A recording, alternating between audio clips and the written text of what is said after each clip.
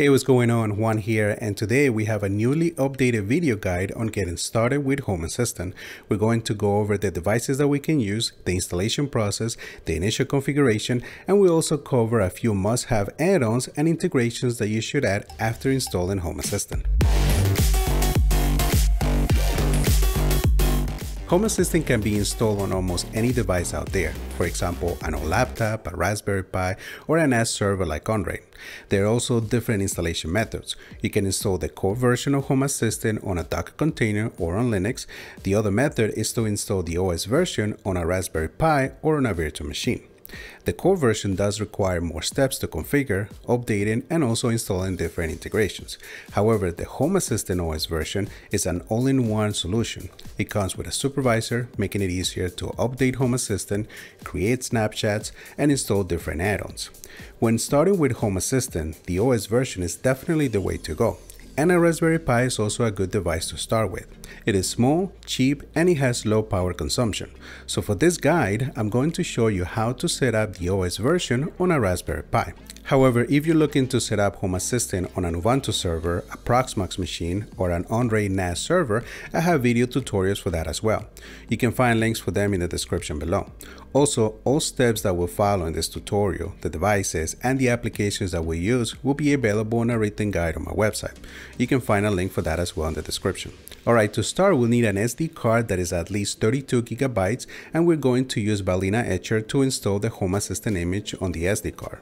So connect the SD card to your computer and get the URL for the image via homeassistant.io slash installation slash Raspberry Pi.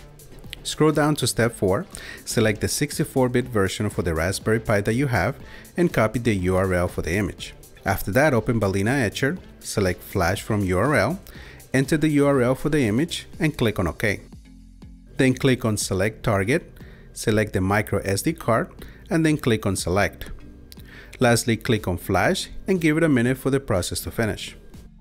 Once the process completes, remove the SD card from your computer and connect it to the Raspberry Pi. Then connect the Raspberry Pi to your router with an Ethernet cable and boot it up. The Home Assistant OS will start downloading the latest version of Home Assistant. To access the web interface, open your browser and go to homeassistant.local colon 8123. Once the setup is completed, you can start with the initial configuration.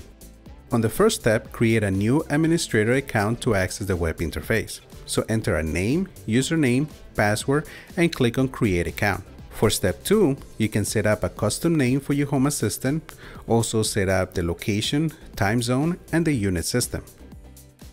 Click on next and for step 3, Home Assistant auto-discovers the smart home devices connected to your home network. You can then add them and set them up into rooms. Click on finish and the Home Assistant web interface comes up. If you still need to integrate more devices or online services, you can do so by going to configuration, integrations, and then click on add integrations. Some integrations are not yet available to set up directly from the web interface. So if you don't find the specific device or service here, you can check all the supported integrations by going to homeassistant.io forward slash integrations. One thing that I believe is good practice to do before configuring the Home Assistant dashboard is to go over your entities names. You want to create a naming convention that you can follow when naming your entities. This will make it easier to search for a specific entity and also differentiate between similar entities.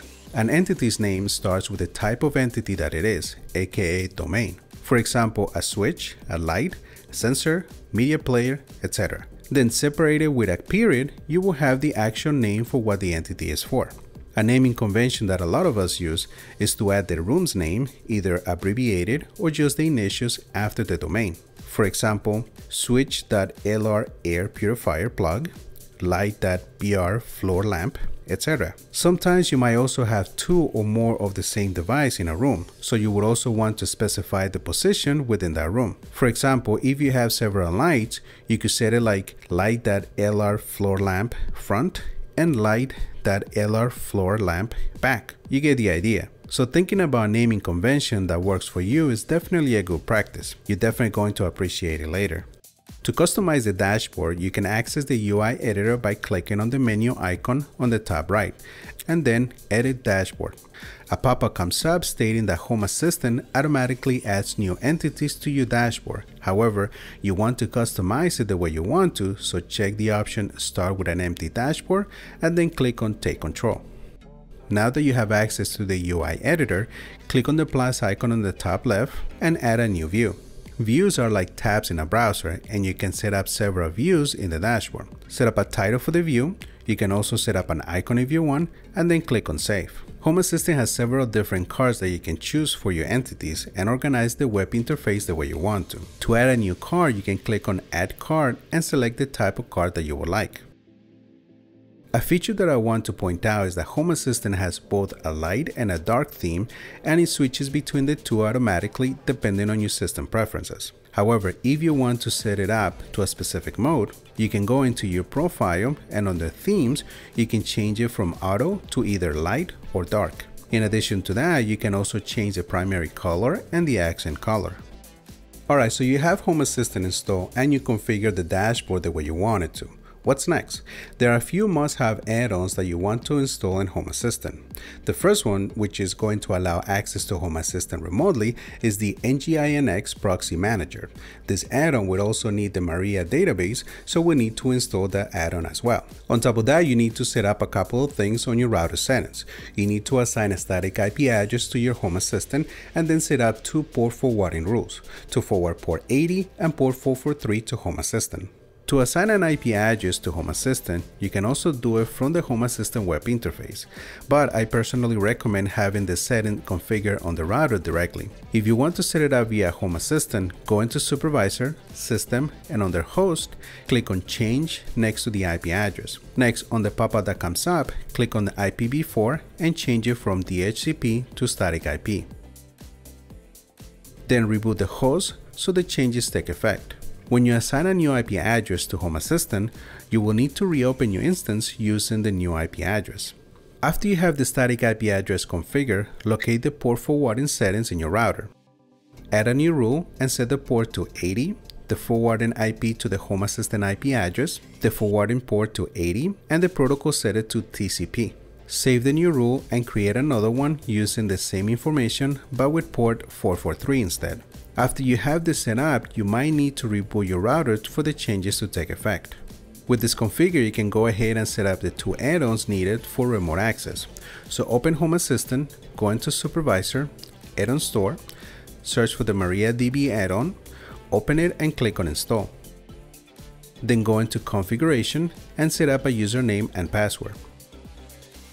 On the rights, enter the same username and for the database, leave it set to Home Assistant. Save the changes, go back to the Info tab and start the add-on. After that, go back to the add-on store, search for NGINX Proxy Manager, open it and install it. After it is installed, start the add-on and click on Open Web UI. To sign in for the first time, enter in the email field admin at example.com and for the password enter change me. Then sign in and a pop-up comes up for you to change the default credentials to something private. To set up the remote access, you first need to create a DuckDNS subdomain. On another tab, go to duckdns.org and log in using one of the available methods. Create a subdomain and your new URL will be the subdomain that you created, .duckdns.org. Go back to the NGINX Proxy Manager, click on Hosts, Proxy Hosts, and then click on Add a Proxy Host. On the domain name, enter your DuckDNS URL. Then enter your Home Assistant IP address under forwarding hostname slash IP. For the forwarding port, enter 8123. Enable the option WebSocket Support and then go to the SSL tab.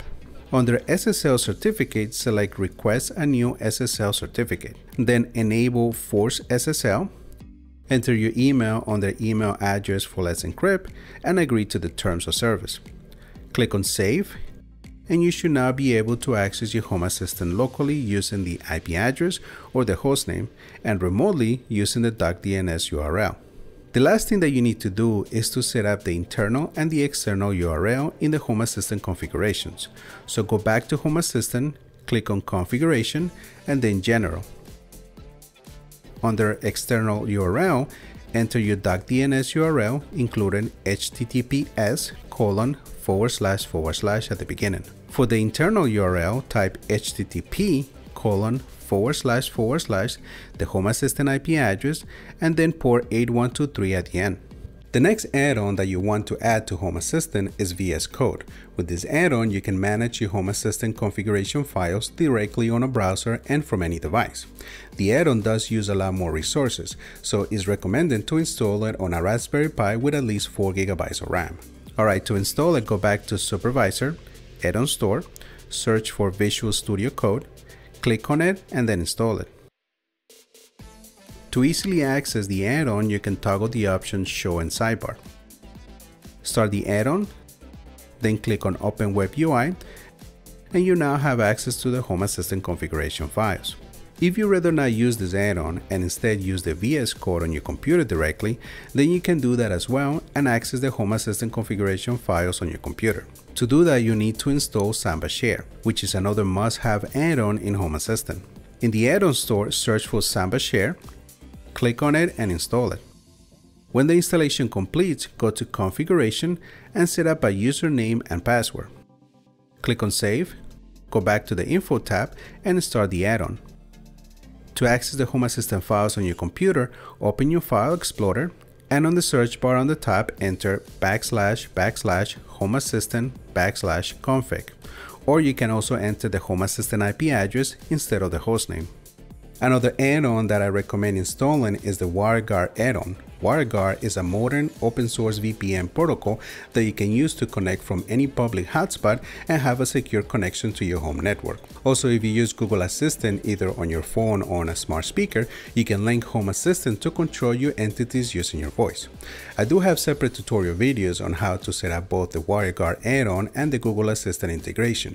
You can find links for them in the description below. Alright, the last thing that you want to do after you have Home Assistant all set up is to create a snapshot of your setup. So if something ever happens and you need to reinstall Home Assistant, you can easily recover your whole setup with that snapshot. To create a snapshot, go into Supervisor and then Snapshots. When creating a new one, you can set up a name for it, select if you want to create a full or a partial snapshot of your system, and you can also set up a password so when you try to restore from a snapshot, you will be required to enter the password to unlock it. After you have the snapshot created, you can click on it and download it so you can save it in your computer. There are many more integrations that you can add to make the experience with Home Assistant better, but we can't cover them all in one video. However, I do have more Home Assistant tutorial videos coming, so definitely stay tuned for that. I hope that this tutorial has helped you get started with Home Assistant. If you have any questions, let me know in the comments below. If you like this video, give it a thumbs up. Don't forget to subscribe to the channel if you haven't done so already, and I'll see you in the next video.